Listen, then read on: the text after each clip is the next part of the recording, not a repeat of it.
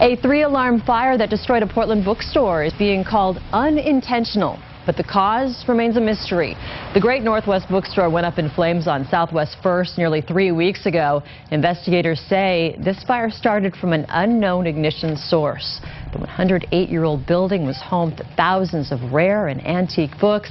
The fire did more than $600,000 in damage.